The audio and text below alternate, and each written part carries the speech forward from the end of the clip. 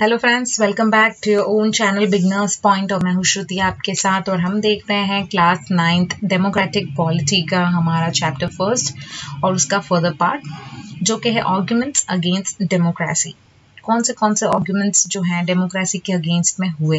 This conversation has most of the arguments that we routinely hear against democracy ये जो conversation हम पढ़ेंगे, इसमें बहुत सारे ऐसे आर्ग्यूमेंट्स हैं जो हम हमारी रूटीन में डेली रूटीन में सुनते रहते हैं डेमोक्रेसी को लेकर. अब हम देखते हैं कि आर्ग्यूमेंट्स क्या हैं. Leaders keep changing in a democracy democracy में लीडर्स चेंज होते रहते हैं। ऐसा नहीं है कि एक बार आपने जिस रूलर को चुन लिया, जिस लीडर को चुन लिया, वही आपके ऊपर हमेशा राज करेगा। दिस लीड टू इंस्टेबिलिटी जिसके कारण इंस्टेबिलिटी होती है। अगर लीडर्स चेंज होंगे तो स्टेबिलिटी नहीं दिखेगी। Democracy is all about political competition power play democracy ये पूरी की पूरी पिक्चर जो है, वो पॉलिटिकल कंपटीशन पे है और पावर के ऊपर है, जिसके हाथ में पावर है।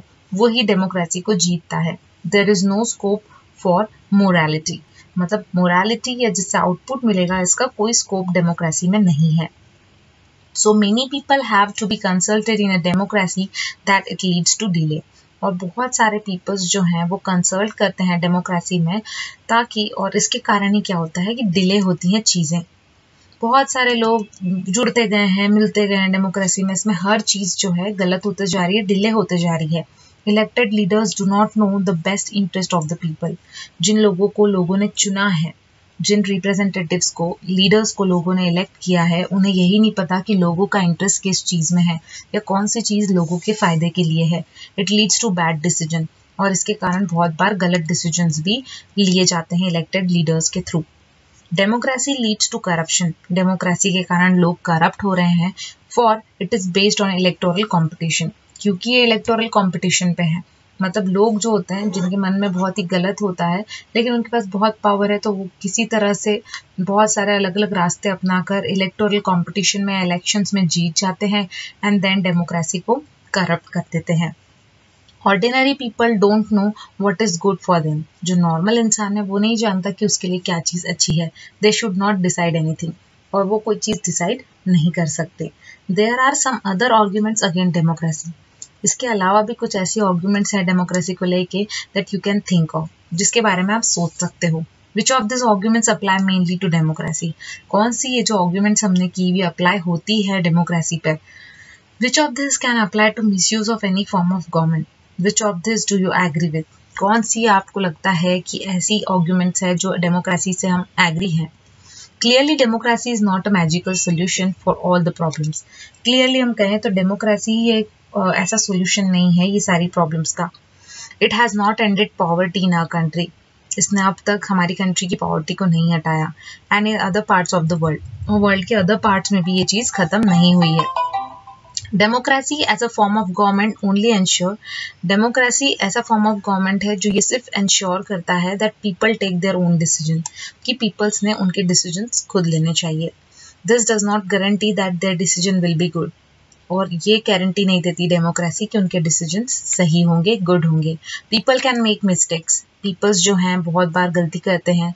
Involving the people in this decision और वो इन्वॉल्व करते हैं पीपल्स को डिसीज़न में does not lead to delay in decision making जिससे ऐसा नहीं होता कि डिले हो रहा है डिसीज़न मेकिंग में। It is also true that democracy leads to frequent change in leadership ये भी सही है कि डेमोक्रेसी के कारण फ्रीक्वेंट चेंजेस आते हैं लीडरशिप में। कभी कभी this can set back big decision and affect the government effectively कभी कभी जो है ये जो लीडरशिप होती है फ्रीक्वेंट चेंज होते हैं लीडरशिप में, ये भी गलत होते हैं। इसके कारण बड़े बड़े डिसीजंस भी अफेक्ट हो जाते हैं गवर्नमेंट की इफिशियंसी पे भी इफ़ेक्ट होता है। This argument show that democracy of a kind we see may not be ideal form of government ये आर्गूमेंट्स ये बताते हैं कि डेमोक्रेसी जिस तरह की है जो हम देखते हैं, ये आइडल फॉर्म ऑफ़ गवर्नमेंट को नहीं दर्शाती। But that is not a question लेकिन सवाल ये नहीं है। We face in real life जो हम रियल लाइफ में फेस कर रहे हैं।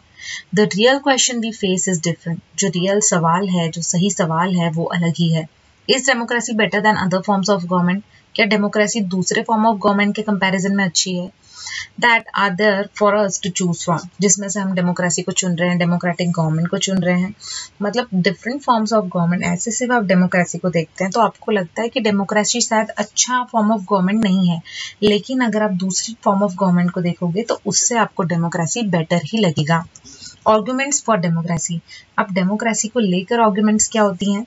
चाइना फेमाइन इन 1958 टू 61 जो अकाल आया था चाइना में 58 से 61 के बीच में was the worst recorded famine in the world history वो सबसे वर्स्ट रिकॉर्डेड फेमाइन माना गया था वर्ल्ड की हिस्ट्री में। Nearly three crore people died in this famine और तीन करोड़ लोग जो थे वो इसमें मर चुके थे। ड्यूरिंग दोज डेज़ उस समय में India economic condition was not much better than China उस समय में इंडिया की इकोनॉमिक कंडीशन बहुत ज़्यादा अच्छी नहीं थी चाइना से yet India did not have a famine of the kind China लेकिन फिर भी इंडिया में फेमाइन की सिचुएशन नहीं आई जैसी चाइना में आई थी। इकोनॉमिस्ट थिंक इकोनॉमिक ये सोचते थे that this was a result of different government policies in two countries economist को ऐसा लगता था कि ये जो दो डिफरेंट फॉर्म ऑफ़ गवर्नमेंट है, दो कंट्रीज़ में, उसकी वजह से ये डिफरेंस देखने को मिल रहा है। The existence of democracy in India made the Indian government respond to food scarcity in the way that Chinese government did not क्योंकि उस समय इंडिया में डेमोक्रेसी थी और डेमोक्रेटिक गवर्नमेंट होने के नाते यहाँ पर इंडिया में इंडियन गवर्नमेंट ने बहुत ही अच्छा रिस्पॉन्ड दिया था फ़ूड की कमी के लिए जो लोगों को खाने की कमी हो रही थी, उन्हें हर जगह फ़ूड पहुँचाया गया, जो कि चाइनीज़ गवर्नमेंट ने उनके कंट्री में अप्लाई नहीं किया They point out that no large scale famine has ever taken place in an independent and democratic country. उन्होंने पॉइंट आउट किया कि इतना बड़ा लार्ज स्केल पे फेमाइन जो है, वो कभी भी किसी इंडिपेंडेंट या डेमोक्रेटिक कंट्री पर नहीं आया। If China too had multi elections an opposition party and a press free to criticize the government, then so many people may not have died in a famine. अगर China में भी इसी तरह से multi party elections होते opposition party होती, और press free press free होता मतलब प्रेस जो है क्रिटिसाइज नहीं करता गवर्नमेंट को तो बहुत सारे लोग जो मर गए थे इस फेमाइन में, वो शायद बच जाते। This example brings out one of the reason और ये एग्ज़ाम्पल बताता है एक रीजन को कि why democracy is consider the best form of government और ये एग्ज़ाम्पल से हम ये कह सकते हैं कि हाँ डेमोक्रेसी सबसे बेस्ट फॉर्म ऑफ़ गवर्नमेंट है। Democracy is better than any other form of government in responding to the needs of the people democracy सबसे अच्छा फॉर्म ऑफ़ गवर्नमेंट है, बहुत ही बेटर फॉर्म ऑफ़ गवर्नमेंट है। लोगों की नीड्स को रिस्पॉन्ड देने के लिए। नॉन डेमोक्रेटिक गवर्नमेंट जो है मे और and can respond to peoples need कभी चाहे तो देगा या कभी नहीं भी देगा पीपल्स की नीड को respond non democratic government but it all depends on the wishes of the people who rule लेकिन वो सब उस पर डिपेंड होता है जो उस कंट्री पर रूल कर रहा है नॉन डेमोक्रेटिक में। If the rulers don't want to अगर रूलर नहीं चाहेगा कि वो लोगों की मदद करे, वो नहीं करेगा according to the wishes of people जो पीपल्स चाहते हैं, वो नहीं करेगा, उसका मन नहीं है। Democracy requires that the rulers have to attend the needs of the people लेकिन डेमोक्रेटिक गवर्नमेंट में डेमोक्रेसी में ये बहुत ज़रूरी होता है कि जो रूलर है, वो लोगों की या पीपल्स की नीड को पूरा करे। Democratic government is better government because democratic government better government इसलिए है क्योंकि it is a more accountable form of government ये बहुत ही अकाउंटेबल फॉर्म ऑफ़ गवर्नमेंट है। दूसरी अगर हम गवर्नमेंट की बात करें या दूसरे फॉर्म ऑफ़ गवर्नमेंट की बात करें तो उसमें हम देख सकते हैं कि डेमोक्रेटिक गवर्नमेंट जो होती है, वो बिल्कुल अकाउंटेबल पार्ट जो होता है अकाउंटेबल फॉर्म ऑफ़ गवर्नमेंट होती है। मतलब जो भी चीज़ें हैं, जिम्मेदार होती है अकाउंटेबल मतलब बहुत ही ज़िम्मेदारी से अपना काम को निभाती है। There is another reason why democracy should lead to better better better decision दूसरा एक और अनदर रीजन है कि डेमोक्रेसी से बेटर डिसीज़न क्यों होता है than any other non democratic government democracy is based on consultation and discussion democracy में कोई भी डिसीज़न कंसल्टेशन और डिस्कशन के साथ होता है democratic decision always involve many person जब भी डेमोक्रेटिक डिसीज़न होता है तो उसमें बहुत सारे लोग पर्सन डिस्कशन और मीटिंग्स इन्वॉल्व होती हैं जब number of people put their heads together बहुत सारे लोग जो हैं सब आते हैं एक साथ एंड देन डिस्कशन होता है किसी पर्टिकुलर टॉपिक पे।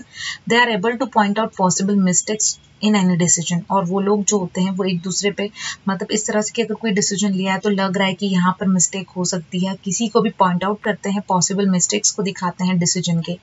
दिस टेक टाइम जिसके लिए समय लगता है। But there is a big advantage in taking time over important decision लेकिन अगर थोड़ा समय लगता भी है किसी इंपॉर्टेंट डिसीज़न को लेने के लिए तो वो बुरा नहीं है।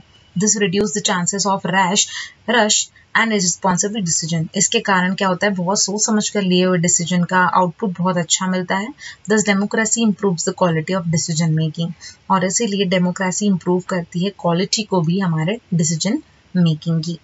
तो दोस्तों, यहाँ तक हमने इस चैप्टर को कंप्लीट किया है। फर्दर चैप्टर के लिए मेरा अगला वीडियो देखना ना भूलें। और अगर आपको मेरा ये वीडियो पसंद आया है तो प्लीज़ मेरे चैनल को सब्सक्राइब करें और वीडियो को लाइक करना ना भूलें। Thank you so much thanks a lot